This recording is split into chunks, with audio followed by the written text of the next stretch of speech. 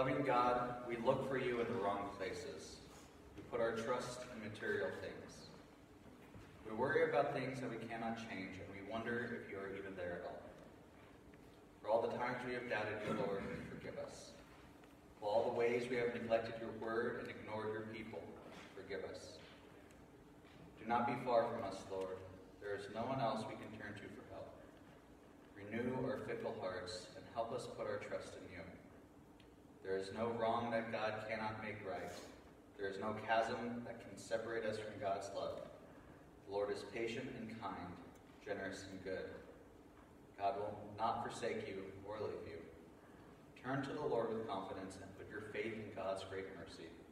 By the power of Jesus Christ, we are made whole. Amen. This morning's scriptures comes from Exodus chapter 20, verses 8 and 11, as Deuteronomy 5, 12 through 15. Remember the Sabbath day and keep it holy. Six days you shall labor and do all your work, but the seventh day is a Sabbath to your Lord your God. You shall not do any work, you, your son, or your daughter, your male or female slave, your livestock, or the alien resident in your towns. For in the six days the Lord made heaven and earth, the sea, and all that is in them, but rested on the seventh day. Therefore the Lord blessed the Sabbath and consecrated it. Observe the Sabbath day and keep it holy, as the Lord your God commanded you. Six days you shall labor and do all your work, but the seventh day is a Sabbath to the Lord your God. You shall not do any work, you or your son or your daughter, or your male or female slave, or your ox or your donkey, or any of your livestock, or the resident alien in your towns, so that your male and female slaves may rest as well as you. Remember that you were a slave in the land of Egypt. The Lord your God brought you out of there with a mighty hand and an outstretched arm. Therefore, the Lord your God commanded you to keep the Sabbath day. Friends, I would like to invite you to participate with me in an amazing offer. It is an opportunity that God has provided us, and it is called to rest. It's part of Sabbath. And it is an amazing, unclaimed treasure by the people of God. It is an inheritance that we have provided for us since the foundations of the world, built in to the very DNA of creation. You and I could be wealthy and rich and rested if only we took advantage of that which God has provided. Can I get an amen? Amen.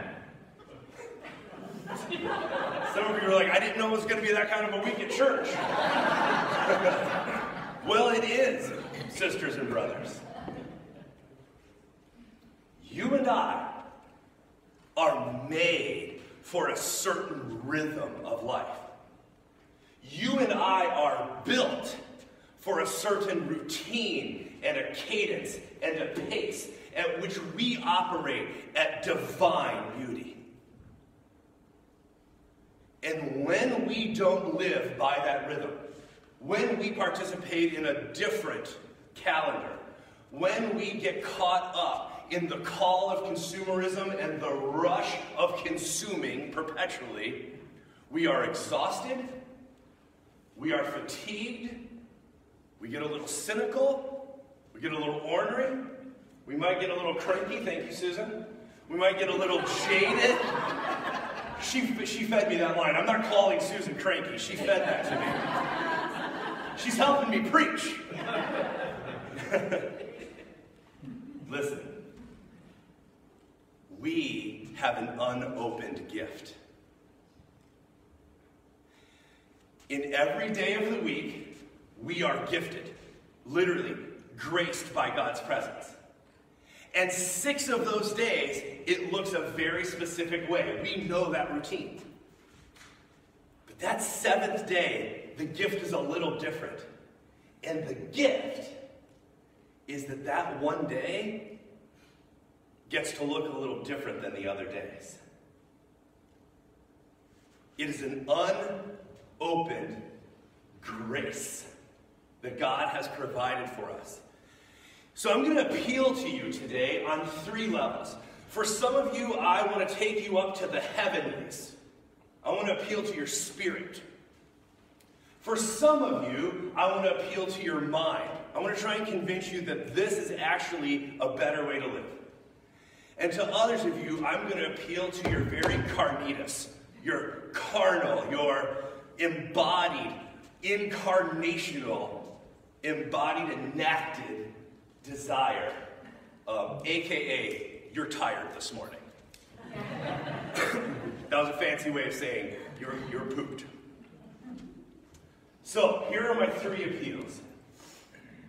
If you believe that there is a God, and that that God has set the world in a certain motion, that that God has a good desire for that God's creation, and that that God who loves the world so much, we hear in John 3.16, so much that God gave God's best to us that we might be saved from ourselves and the system that we're caught up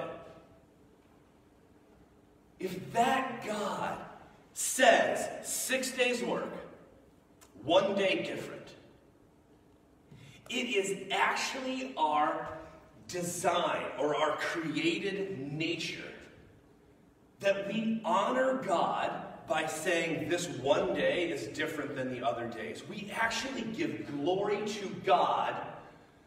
I know some of you, I'm going to make you really nervous right now by turning off your phones, by having one day that you don't check email, by one day that you don't spend any money or charge anything online. By one day that you don't turn on the TV until after you've read something that nourishes your soul. That there's one day where you call friends you haven't seen in a while. That you make time for what matters. You glorify God and you also, and this is for some of you, this is really going to stoke your, your, your political side. It is a prophetic no to the demands of the world that you be productive every day. It says no, there is a better way to live and a higher order of creation, and I will not get run into the ground. I will not get stuck in this rut, and I will not burn out or rust out. There's a better way, and it's an ancient way. It's a prophetic critique of the system we are caught up in. It's a spiritual rebellion. Some of you are like, wait not checking my email is spiritual? It can be. It can be. So here's the second layer. For some of you, you're like, ah, oh, yeah, spirit, spirit, I get that, but, you know, I'm not really into the frou-frou stuff. So let me make a different appeal. You work better when you don't work every day. You're better. You're more pleasant to be around. You're more productive. You're more creative. You are better. You bring more to the world when you have a little bit in reserve. When your margins are so thin. When you're not running on fumes. Should I keep going? You're better when you don't work every day. You just work better. So, in a very, some of you, I'm appealing to your utility, right? Just as a utilitarian, it is a better way to live when one day is different than the other days.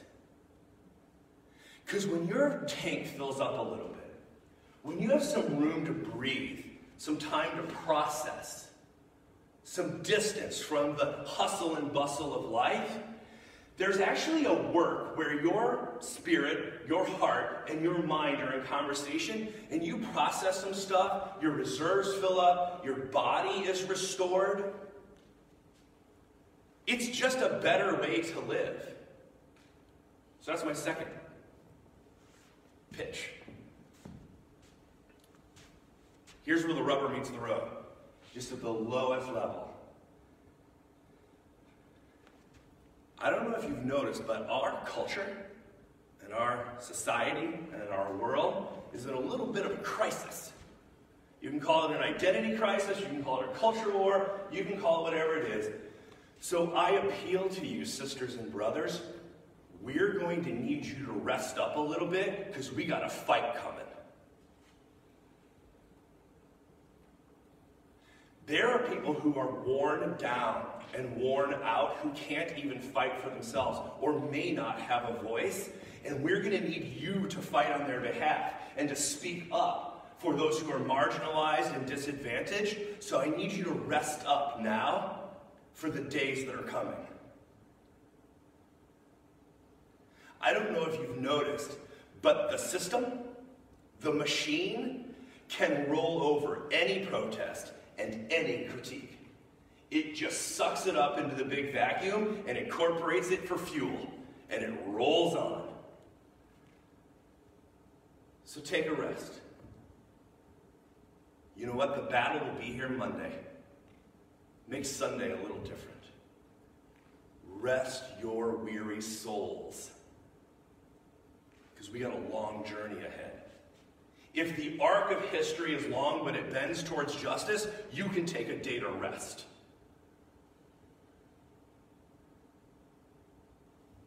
Be still, my soul, the psalmist says. Be still, my soul, and know that you're not God. That's a modern translation. Be still and know there is a God. That's a modern translation. Be still and know that I am God, is the ancient. Look, you're not in this alone. You've got us. If nothing else, you've got us. And we believe that there is a power in the universe that empowers us all. So you don't have to be on guard every day. You can take a day off and say, This one day is going to be different than my other days. We're going to need you in the days ahead. So rest up. It's okay. We'll stand guard. You can sleep. We'll stand guard. We're here to carry each other's burdens. You're not in this alone.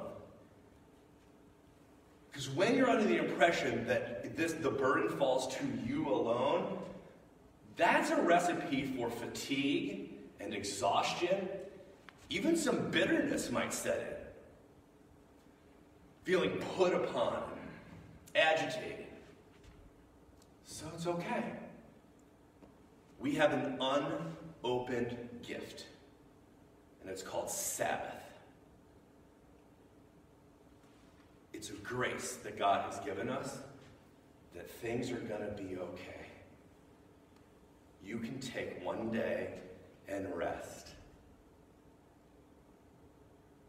Be still, my soul. The Lord is on thy side. Wait patiently with all the grief and pain. Be still, my soul. Rest in the Lord and the power of God's might. You're not alone.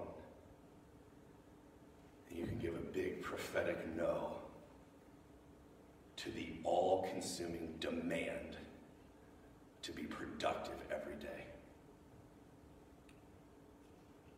It's an offer and an invitation. And in the second half of our gathering, I would love to talk about how that might look for us. Like to show you a video. It's from the Psalms, it's Psalm 130. Just rest in this as the words of the ancients pour over us.